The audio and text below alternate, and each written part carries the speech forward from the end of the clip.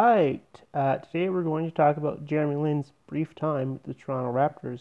Obviously, he came in 2018 2019, uh, won a title last year with them. Um, at the start of the 2018 2019 season, he was signed for the Atlanta Hawks, I believe, on a one year deal. Played 51 games with them, putting up about 10.7 points uh, per game, playing roughly 19.7 minutes per game.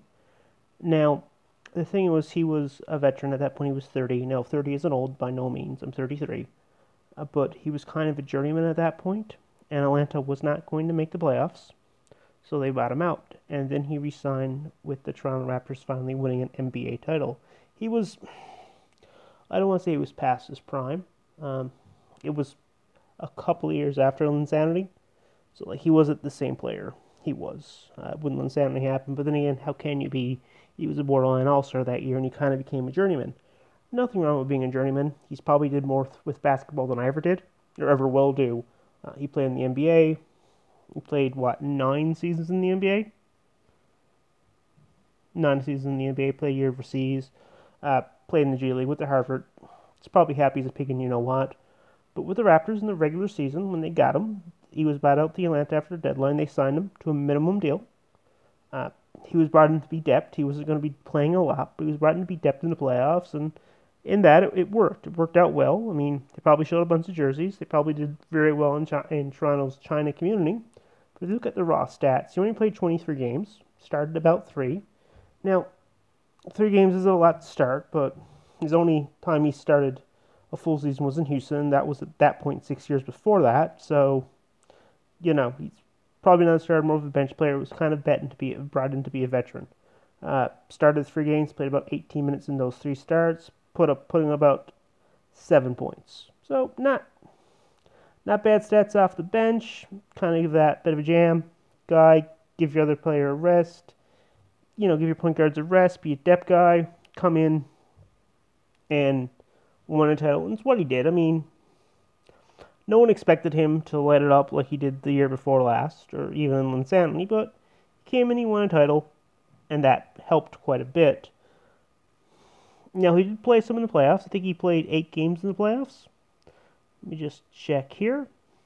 Looking at basketball reference, I don't have a pen right now, uh, so I just say, uh, you know, figure out that basketball reference. He did play well, I think, in his t- short time in Toronto, but it is what it is. Uh, for the Raptors, he did play eight games in the playoffs, didn't start a single game. In total, only played about 3.4 minutes uh, a game. Not a lot, but also he wasn't brought in to be a playoff performer. He was brought in if someone was injured. Uh, before that, his last time in the playoffs, where I believe with Charlotte? Yeah, he played with Charlotte in the playoffs for seven games back in 2015 2016. So he didn't make the playoffs before then. Um, honestly, I thought he played well. Could he have done more? Yeah, but also his his best part of his career was probably already past him at that point. Um, right, he was 30. He was brought in to be a veteran. He played well enough there uh, to get a to get a contract over in China. Uh, he is planning on coming back to the NBA. I thought he played well in Toronto limited role. Um, he wasn't really brought in to be a starter, a high volume off- offensive player. Already that he played well. He won a ring. Now, he has said he doesn't feel like he really deserves that ring, but he was mostly brought in as a veteran. Sold some jerseys. Probably loved in Toronto. Probably going to be loved in Toronto until, like, that country really loves him. Saw him at the parade. Got to experience that. Um, you know, a lot of players wait their entire career without winning a ring even if you're not a big part of a ring. I'm sure a lot of players who've never won a ring would be happy as a pig in shit um, to win one. I mean, T-Mac's never won a ring. Vince Carter's never won a ring, both former Raptors. So for Jeremy Lin to even come along with the ride and be a veteran presence in the locker room and be a good locker room guy and win a ring, sure, you only played eight games in the playoffs, and only 23 overall. You started all of three games for the Raptors. You still won a ring. You know, you're always going to be an NBA champion. You can after your career, you can write books about it and do some really good things.